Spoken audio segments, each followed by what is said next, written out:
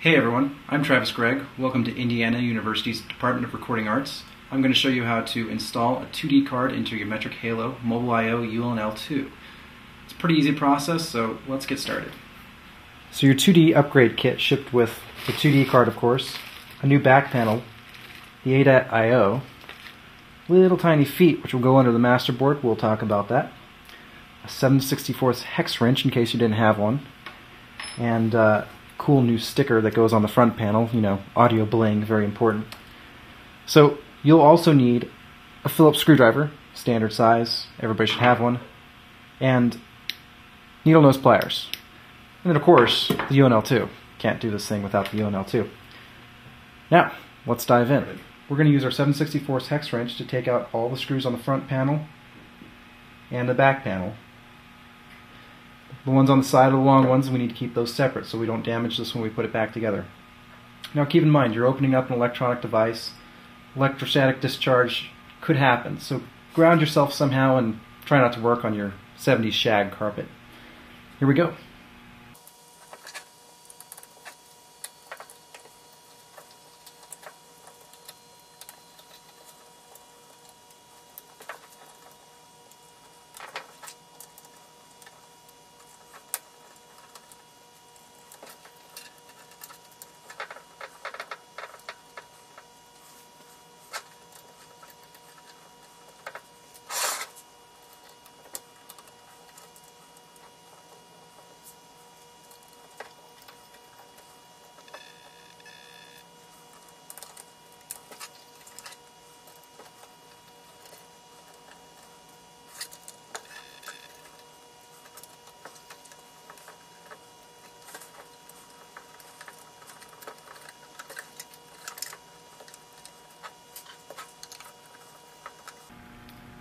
Phillips screws around our digital I.O. also have to come out, including the power one right here.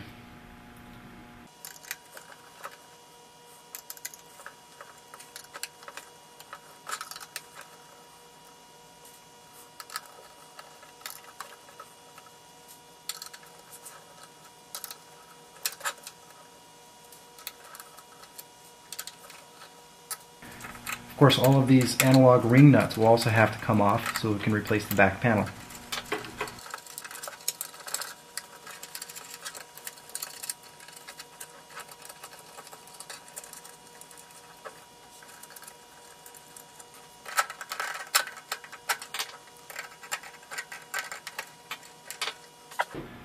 Lots of screws.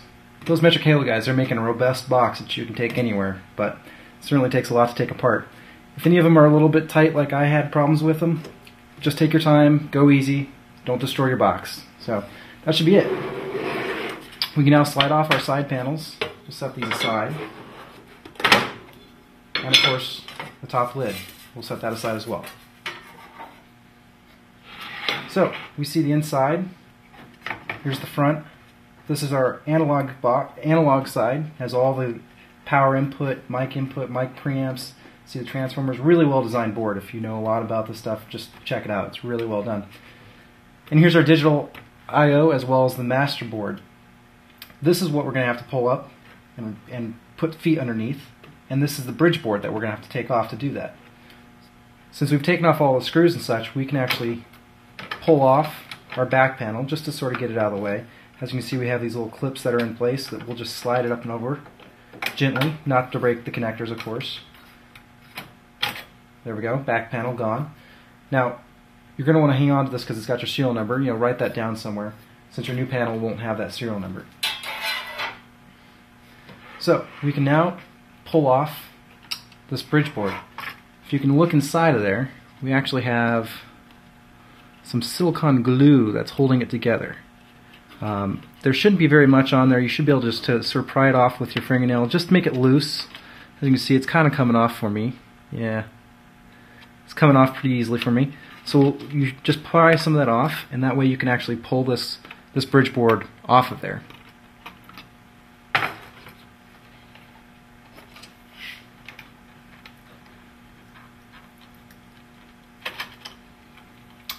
Voila. There's our bridge board. You can see where it was connected. Now, we'll set this aside as well.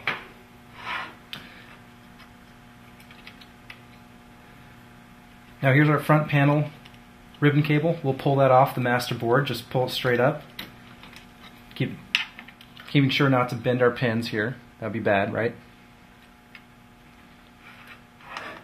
And now we're going to pull this whole master board up. It's got these little PEDs, clips, that are holding them on. Little tiny metal clips that are actually holding the, brid the master I.O. board down to the casing. So we'll pop this up very gently. It's going to take some force, but you don't want to actually break your board. So gentle yet forceful, right? Pop, little little tiny pop. Slide your hand underneath, pop, here goes another one. And we'll get the last one right there. So there you go, slides right out. Be careful not to get your caps caught on the meter ribbon cable or anything. So there's our master board. Now our 2D card is going to sit on top of this going between the two.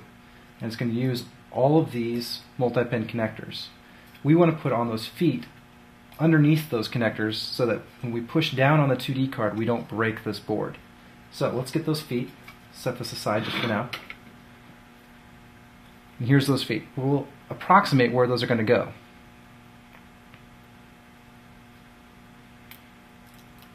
Get this one off of there. We'll put one right here where that top multi-pin connector is going to be. We'll put two where these other connectors are going to be. Like that. Two connectors right there.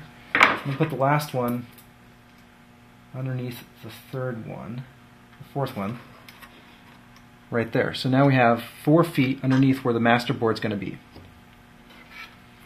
We'll put this back into place and clip it back into the PEDs. Again, be careful with those caps that are right underneath the ribbon cable. And just gently push down on those PEDs until they click back into place.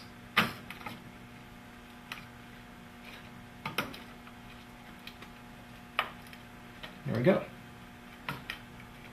And now we can actually push on those connectors with the 2D card and not break it. So get your 2D card out. Pretty simple little board here. Here are the connectors that we need to, to get into place. You can see these male pins will fit right into these female holes, and all these female holes will fit into our big multi-pins that we were putting our feet underneath. So let's line them up really carefully, making sure the first hole goes into the first pin and whatnot. Kind of get them started, make sure we're lining up on all of them. None of the pins should be bent, just make sure you look out for that.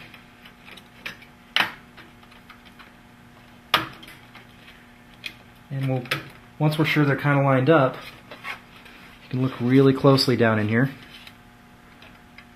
If I can get a view for you. But that pin and that hole are pretty much lined up. And same thing can be said for all these other ones. Hard to get on the video, but so once we're all lined up, we're sure it's all lined up, we'll gently push down on those connectors, make them slide into place. And if any of these caps are in your way, just slide them out of the way just a little bit. They shouldn't they shouldn't really be in the way, but if they touch, just gently push them out of the way.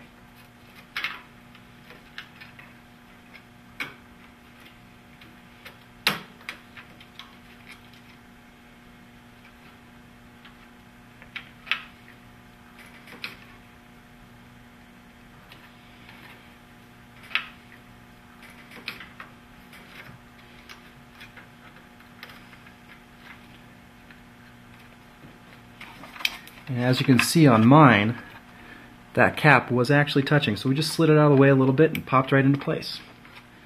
There we go. So the connectors are already in place all the way down on all four of the big pins and of course on the ADAT down there. So let's connect our ADAT.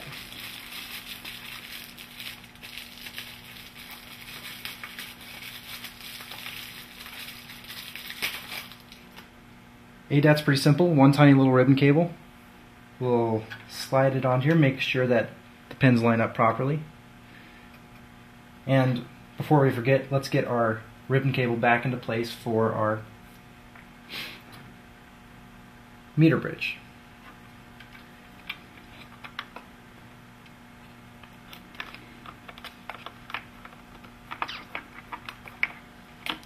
Now note, there's a multi-pin jumper base here, and you want the one closest to the meter bridge. You want it, the one that actually has enough pins. That makes that makes it easy. Count the pins, right? Okay. And now we can get our back panel on.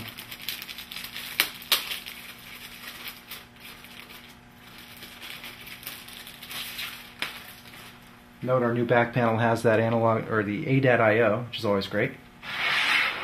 So we'll slide this back over our XLR buttons and all the other little connectors.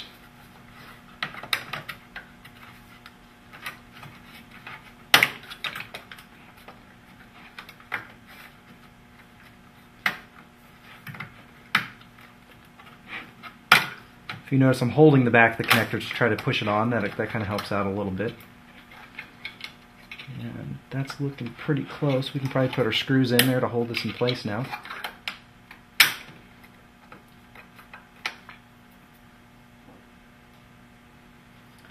A lot more screws. Here we go. When putting the screws back in, make sure you're using the right ones. Of course, we have the Phillips for all of the XLR connectors and uh, even the 5 pin for power and for our SPDIF IO. And then we have our short hex screws for everything that's going into the top panel and the bottom panel. And then we have a long hex screw for everything that goes into the side panels. Make sure you don't get those those make sure you don't get those confused because they'll actually end up cracking your uh, displays.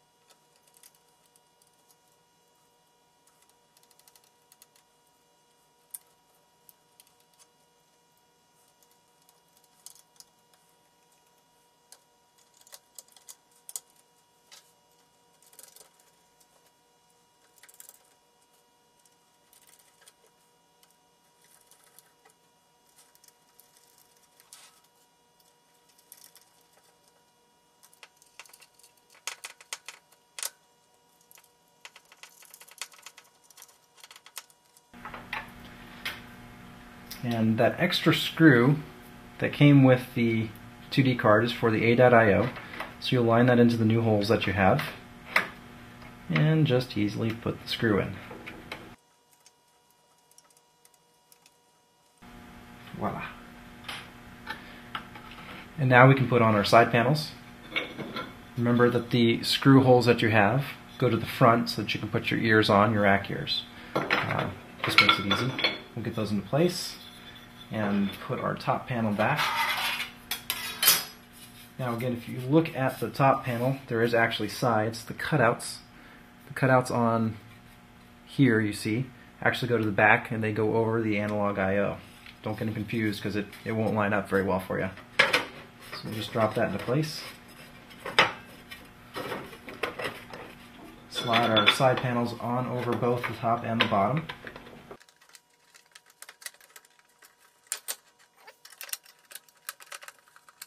And I'm going to start with our long screws on the sides just to make sure everything lines up just right.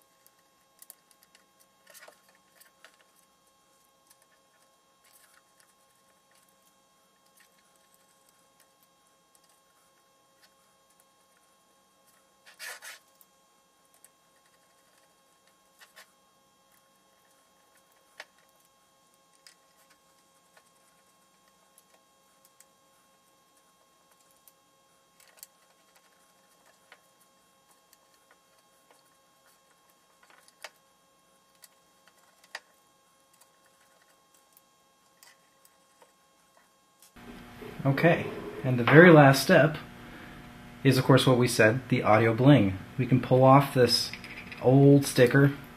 We don't care about this non 2D stuff. We're cooler than that, right? We'll pull this off really carefully. This. This we're going to put somewhere cool, like, oh, I don't know, how about across Altec?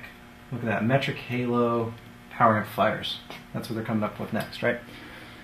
And then we take our Metric Halo 2D expanded bling. I'm going to put it right there in the little clean spot that was left over. Trying to get it straight. There we go. Now everybody knows how cool you are, right? Well, there you have it. You've upgraded your ULN-L2 with a 2D card. Upgrade the firmware via the console, which you should download from Metric Halo's website. You'll be really surprised at all the new features and more power that you have. It's a great upgrade. Congratulations on your purchase, and again, from Indiana University's Department of Recording Arts, I'm Travis Craig. We'll see you on the next one.